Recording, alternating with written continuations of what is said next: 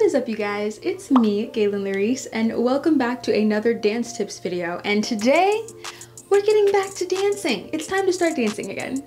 I have taken many breaks from dancing. I think it's pretty normal to reevaluate, you know, if that's how you want to be spending your time. Maybe you have to reevaluate your goals or maybe you're going through a life change and so sometimes you have to stop dancing. But if you're like me, it always brings you back. So today I'm going to be sharing with you guys some tips for getting back into dance, whether if you are a student or a dance teacher. I feel like if you grew up dancing a lot, chances are you're also going to be teaching every now and then And that's a skill that you have to kind of learn how to jump back in. So I'm going to be touching on all of that in this video. If you have not already, please go ahead and give this video a thumbs up.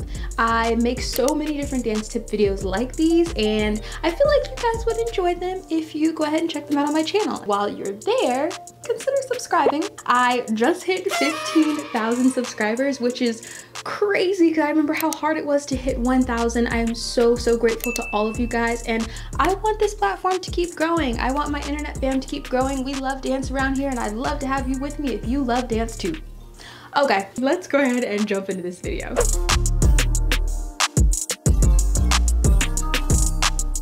When getting back into dance, the number one thing that I really found is so important is to find your why. Reevaluate what your why is right now when it comes to dance so that you can know what you're actually doing this for.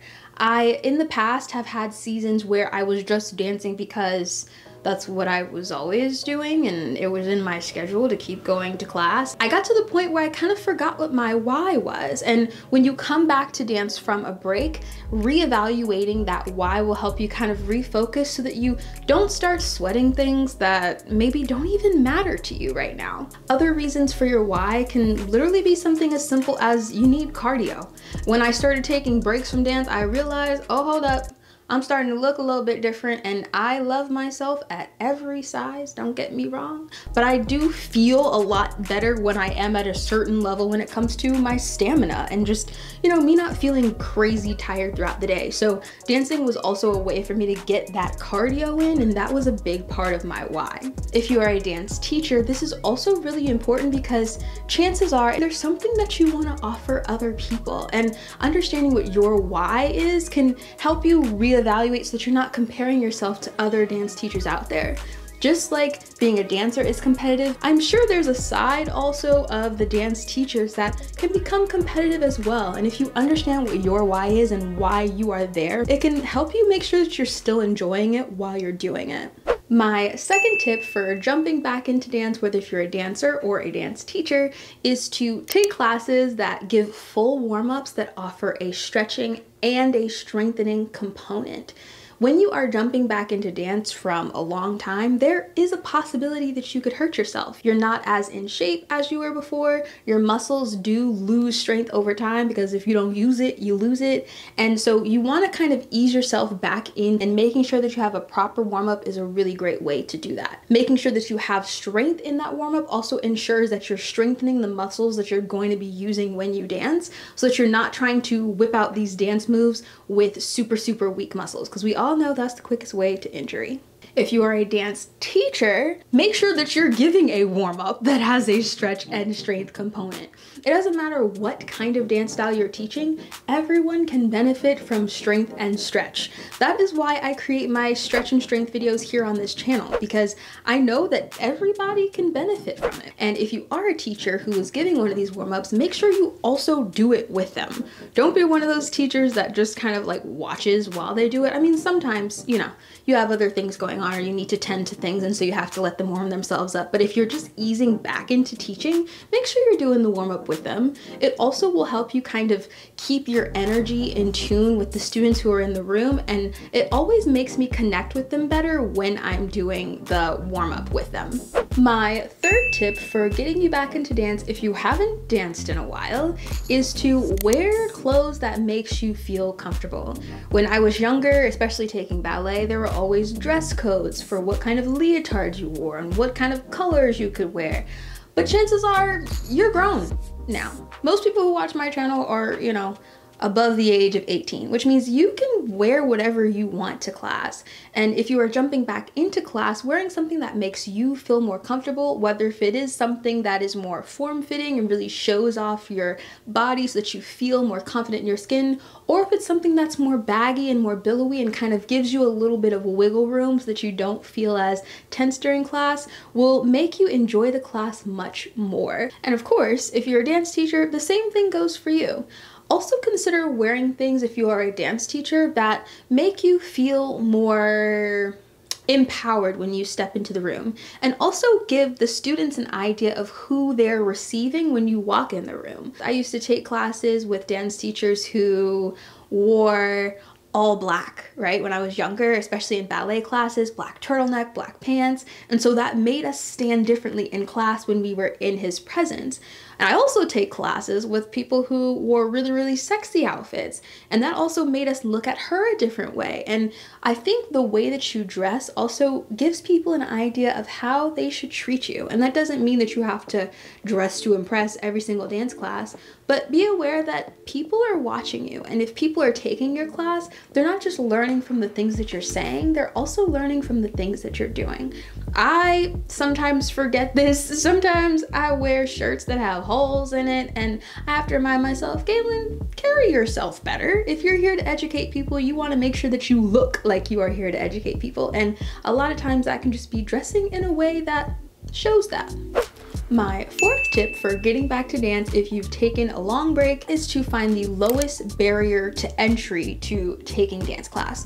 That means finding the easiest way for you to be able to step into a dance class again. Maybe for you that means taking a dance class that is close to the place that you work so that you already know after you work you can go straight there. You know, we have so many things that can get in the way of us taking class, especially when we're trying to jump back into it because we already might be feeling a little bit self-conscious. And so so making those things less in your way so that you can take class more frequently is going to make it more enjoyable for you. This can also mean packing your dance clothes so that when you're going to work, you have the clothes you need right there. Or it can mean something as simple as taking dance tutorials first online before you actually go to a dance class. Sometimes that being in the room with other people, again, can make you feel a little bit self-conscious. And so lowering that barrier to entry to you taking class and starting to see the results from it can make you want want to show up more. And tutorials are a very easy way to do that. My fifth tip for jumping back into dance if you've taken a break for a while is to start with something that's a level below where you usually are. I used to have a ballet teacher who would say the first class back was always the easiest because you surprise yourself with what you're able to do. And secretly, I know it's also because he used to make it a lot easier. Shout out to you, Mr. Ivy. But having a class first that's a little bit easier than what you're used to will not only be easier on your body since you have been taking a break, but it's also easier on your self-confidence. We're there to get ourselves reintroduced to the idea of being in the studio again, being around other dancers, watching the dance teacher as they are executing their own choreography. And so sometimes starting with something a little bit easier than you're used to is nice for a little confidence boost. And this goes for dance teachers as well. Don't be crazy hard on your students the first day back. You have nothing to prove to anybody.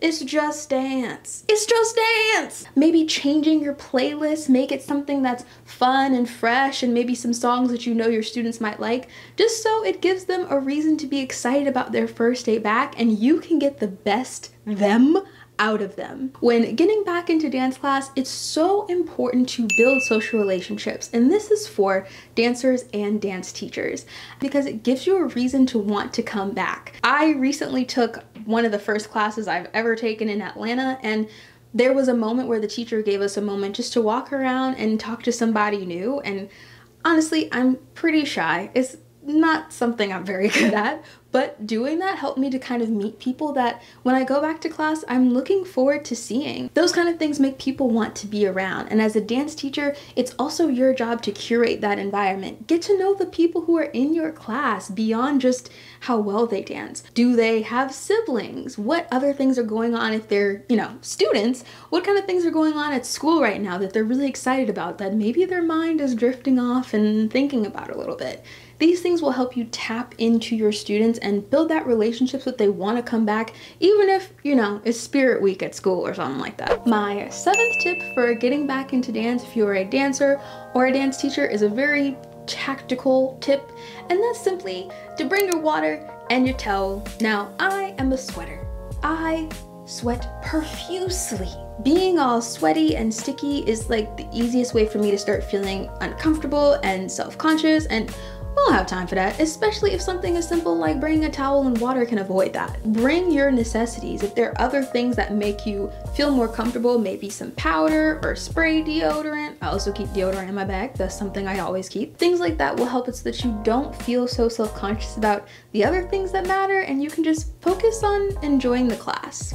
And my eighth and final tip, again, is a very tactical tip, and that is if you are looking to take dance classes, try downloading the Mindbody app or looking for different dance studios on Instagram. I feel like it's a little bit easier now than it used to be on Instagram to find dance studios, but Mindbody is also a great way to find different studios in your area, see which teachers teach more regularly, and kind of be aware of what's around you based on your zip code. It's a really easy app to use. A lot of studios actually use it to host how people sign up on class. And so I always keep it on my phone and I'm pretty sure most dancers I know do too, just because it's something that's used so often. So if you haven't taken dance class in a while, download the Mindbody app. This is not sponsored.